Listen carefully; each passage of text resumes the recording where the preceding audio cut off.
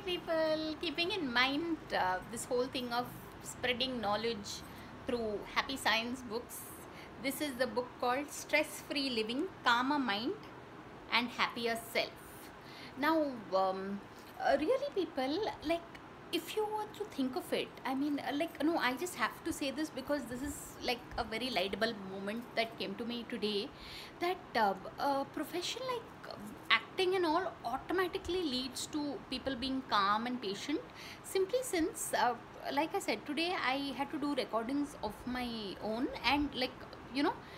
in terms of for me to get ready myself took so long. I mean uh, so i was just wondering all these actresses and people in the tv and film industry they have to apply their makeup and keep waiting for you know the shot to be ready for someone else to finish their shot and you know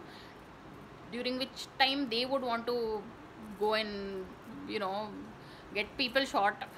and shoot themselves because it's there's a lot of uh, so so when you really think of it life itself teaches you you know to be calm to be you know. Uh, i used to think the goal of life is to make money but apparently no yeah it's about uh, we come on this earth so that we learn these greater values. You know money is just like an incentive to make us learn these values. I mean people in the cine industry and all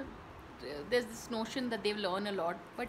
along the way what they really earn is this art learn the art of patience the art of you know just not getting stressed. So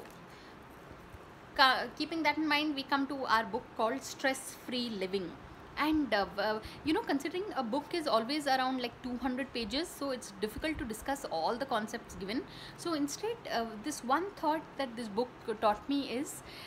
the art of letting go. So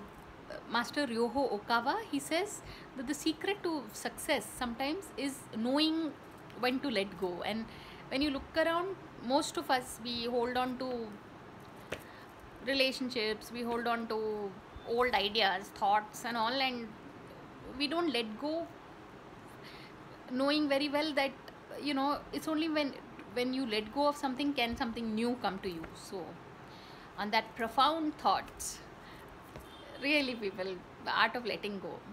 So on that profound thought thanks for watching and please subscribe